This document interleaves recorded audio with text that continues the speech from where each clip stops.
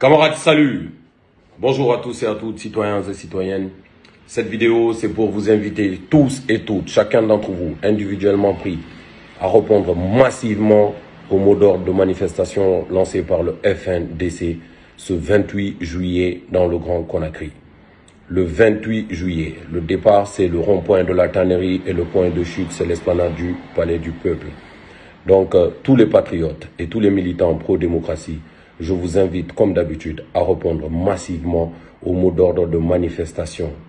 Cette manifestation citoyenne et pacifique lancée par le FNDC avec pour objectif le retour rapide, le retour très très rapide à l'ordre constitutionnel. Je vous invite tous et toutes à répondre massivement à cet appel parce que cette transition, c'est l'affaire de tous les Guinéens. Nous ne pouvons donc pas laisser des personnes diriger cette transition tout droit vers le mur et cela de manière unilatérale.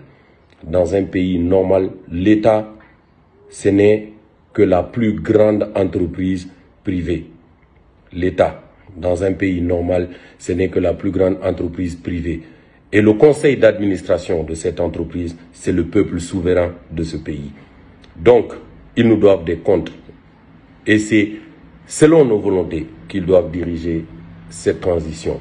La réussite de cette transition, c'est l'affaire de tous les citoyens et de toutes les citoyennes guinéennes. C'est pour ça donc que je vous appelle tous et toutes à répondre massivement, massivement à l'appel du FNDC ce 28 juillet dans le Grand Conakry pour la marche pacifique et citoyenne pour un rapide retour à l'ordre constitutionnel.